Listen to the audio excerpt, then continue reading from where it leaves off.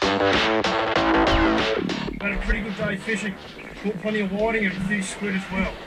Worst thing about catching all these whiting is cleaning them at the end of the day. This here's a tumbler scaling bag. It makes your job so much easier. It's a commercial grade scaling bag it's made right here in Port Lincoln. All we do is grab our whiting, stuff it straight in the bag.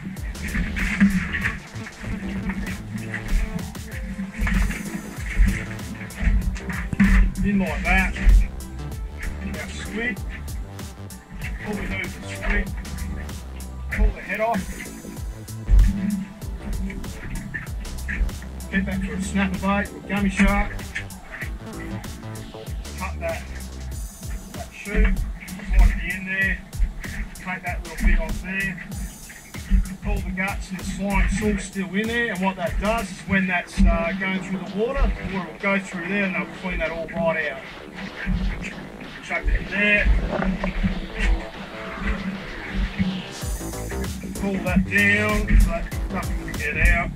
That's all tied up. There's a float on the end, can't go anywhere. And toss that over. Start up the engine, go about eight knots for about uh, three to five minutes, um, she'll be done.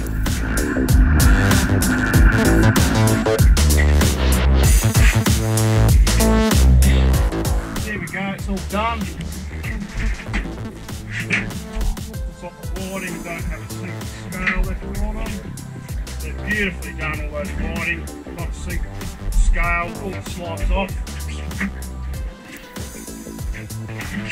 Beautiful white, clean squid. And she's all good, all ready to go and uh, cook up for salt, pepper, squid tonight. So that's the tumbler scaling bag. Check them out at world near you.